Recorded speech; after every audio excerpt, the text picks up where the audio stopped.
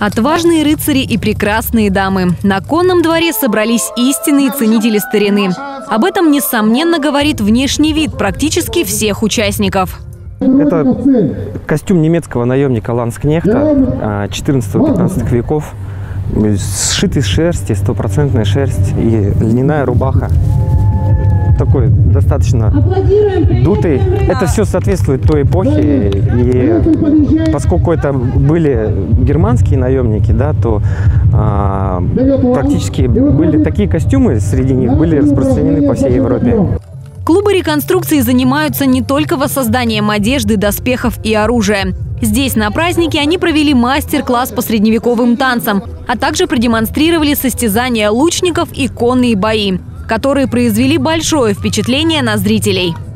Лошади местные, на них занимаются э, местные ребята. Вот, то есть они, ну, относительно все лошади, они уже привыкшие к ребятам а в железе, к пролетающим мимо снарядам. Вот, но все равно немножко пугаются. Лошади это достаточно такие э, взбалмошные существа. Для того, чтобы вступить в ряды реконструкторов, особых умений не нужно. Главное – быть заинтересованным. Однако принимают в такие клубы в основном подростков от 14-15 лет. Как говорят старшие наставники, юных воссоздателей ждет достаточно увлекательный путь.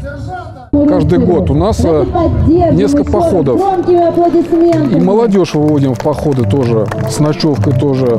То, чтобы они почувствовали, как в походных, как в лагере жить, как костер заводить, как э, э, еду варить. И не, не современные, да, а что раньше было, что натурально было.